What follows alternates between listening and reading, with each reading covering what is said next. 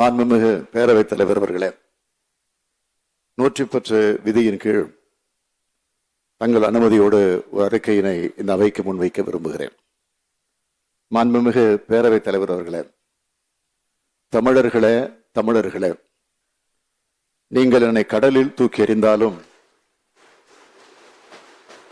கட்டுமரமாகத்தான் மிதப்பேன். அதில் ஏறி நீங்கள் பயணம் செய்யலாம். கவிழ்ந்து விட மாட்டேன். தமிழர்களே தமிழர்களே என்னை நீங்கள் நெருப்பில் தூக்கி போட்டாலும் அதிலே நான் விறகாகத்தான் விழுவேன்.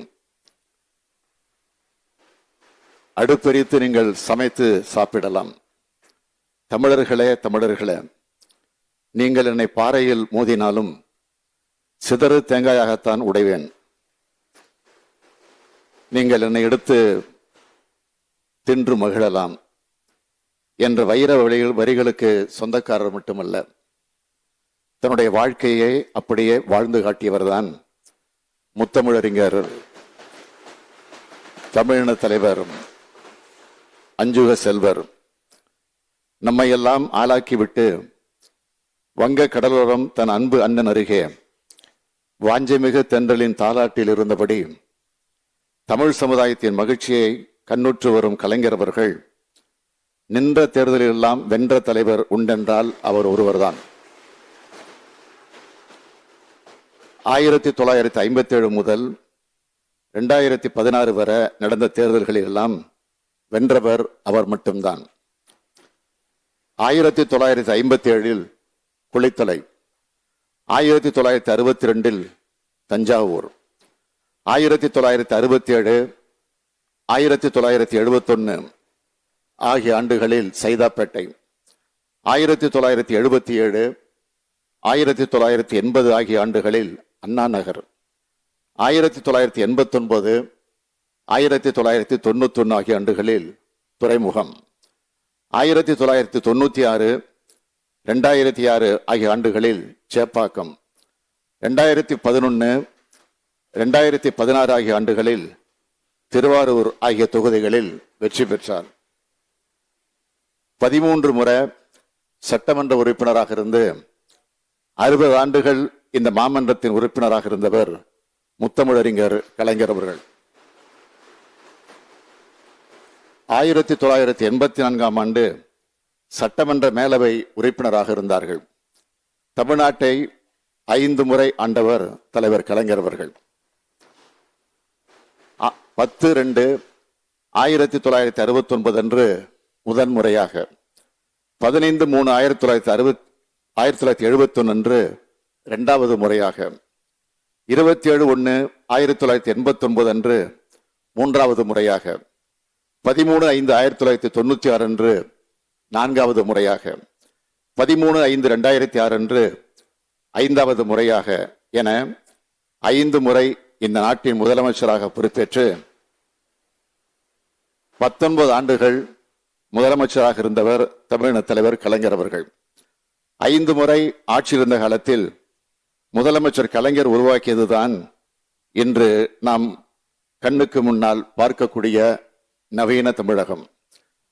அன்னை தமிழ்மொழிக்கு செம்மொழி தகுதி ஒன்றிய அரசு பணிகளில் பிற்படுத்தப்பட்டோருக்கு இடஒதுக்கீடு உயர்வு அனைத்து சாதியினரும் அர்ச்சகராகலாம் சட்டம் மகளிருக்கும் சொத்திலே பங்குண்டு என்ற சட்டம் பிற்படுத்தப்பட்டோர் மிகவும் பிற்படுத்தப்பட்டோர் பட்டியலின மக்களுக்கான சமூக நீதி உரிமைகள் உழவர்களுக்கு இலவச மின்சாரம் கூட்டுறவு வங்கிகளில் வழங்கப்பட்ட ஏழாயிரம் கோடி ரூபாய் கடன் தள்ளுபடி சென்னை தரமணையில் டைடல் பார்க் சென்னைக்கு மெட்ரோ ரயில் திட்டம் சிப்காட் சிட்கோ தொழில் வளாகங்கள் உருவாக்கம் தமிழ்நாடு குடிசை மாற்று வாரியம் தமிழ்நாடு குடிநீர் வாரியம் வடிகால் வாரியம் உருவாக்கியது.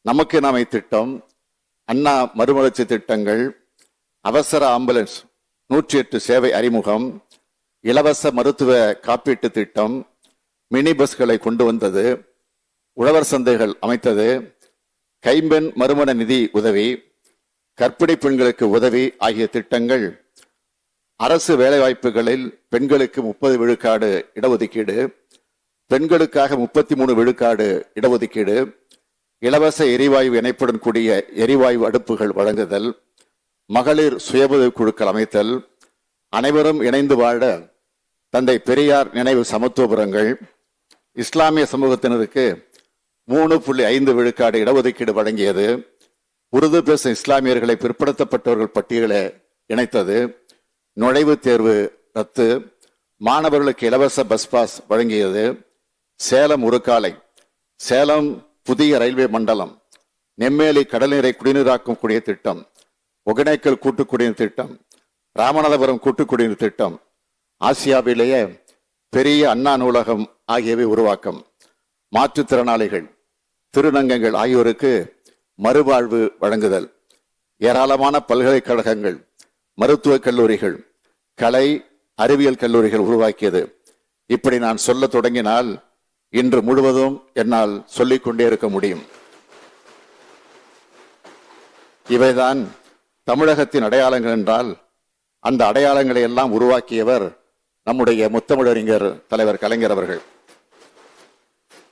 தலைவர் தலைவர்களோடு தலைவர்களாக வாழ்ந்த தலைவர்தான் கலைஞர் அவர்கள்.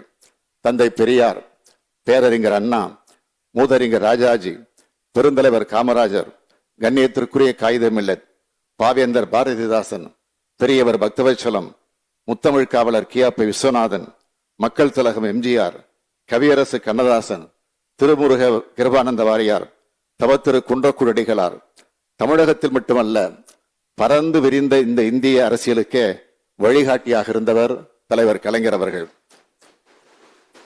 இந்திய இந்தியாவின் குடியரசுத் தலைவர்களாக இருந்த Neelam Sanjiva Reddy Giani Zail Singh we. We. Giri Shankar Dayal Sharma R. Venkataraman K. R. Narayanan APJ Abdul Kalam Pratibha Patil ஆகியோரால் பாராட்டப்பட்டவர் தலைவர் கலைஞர் அவர்கள்.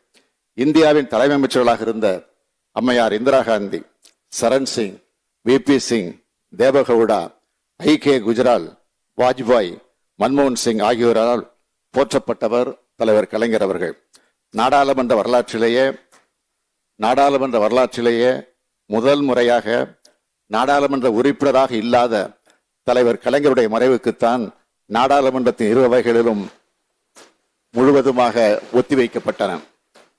இப்படி எல்லைகளை தாண்டி எல்லோரையும் வசப்படுத்தியவர் தலைவர் கலைஞர் அவர்கள். படைப்பாளிகளோடு போட்டியிடும் படைப்பாளி. கவிஞர்களில் தலை சிறந்த கவி சக்கரவர்த்தி திரையுலகத்தினரில் மூத்த கலை உலகவாதி அரசியல் உலகில் தலை சிறந்த அரசியல் ஆளுமை நிர்வாகத் திறனில் நுணுக்கமான திறமைசாலி மேடை ஏறினால் வெல்லும் சொல்லுக்கு அவர்தான் சொந்தக்காரர். அவை அவையில் அவையில் ஏறினால் அவர்தான் வெற்றி சூத்திரம் அறிந்தவர். என எல்லாவற்றிலும் முதல்வராக வாழ்ந்த முதல்வர் அவர். என்னிடமிருந்து செங்கோலை பறிக்கலாம் எழுதுகோலை பறிக்க முடியாது என்று அவர் சொல்லிக் கொண்டார் செங்கோல் பறிக்கப்பட்டாலும் செங்கோலை வழிநடத்தும் எழுதுகோலை அவர்தான் வைத்திருந்தார். அரசு என்பது பதவி பிரமாணம் ஏற்றுக்கொண்டாலும் ஏற்றுக்கொள்ள முடியாமல் போனாலும் அவரிடம்தான் இருந்தது. அரசும் அரசியலும் அவரை இயக்கின. அரசையும் அரசியலையும் அவரே இயக்கினார். இத்தகைய அரசியலின் அரசியலின் மாபெரும் தலைவருக்கு இந்த அரசு தனது வரலாற்று கடமையை செய்ய நினைக்கிறது. திருவாரூரில் முத்துவேலர் அஞ்சுகம்மையாருக்கு மகனாக கலைஞர் அவர்கள் பிறந்து உதித்த நாளான ஜூன் மூன்றாம் நாள் அரசு விழாவாக இனி கொண்டாடப்படும் என்பதை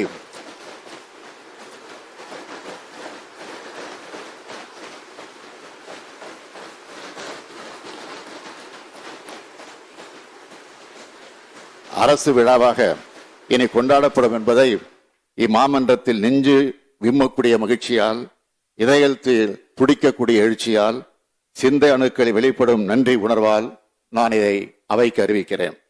வரும் ஜூன் மூணு அன்று சென்னை ஓமந்துரார் அரசின தோட்ட வளாகத்தில் கம்பீர கலைஞரின் கலைமிகு சிலை நிறுவப்படும் என்பதையும் அறிவிப்பதில் பெருமைப்படுகிறேன். நீண்ட தூரம் ஓடினால்தான் அதிக உயரம் தாண்ட முடியும் என்று அடிக்கடி சொல்வார் தலைவர் கலைஞர் அவர்கள். நீண்ட தூரம் இந்த தமிழினத்துக்காக ஓடியவர் கலைஞர் அவர்கள். அவரை அதிக அதிக உயரத்தில் உயர்த்தி பார்ப்பதை தனது கடமையாக கருதுகிறது தமிழ்நாடு அரசு. நன்றி.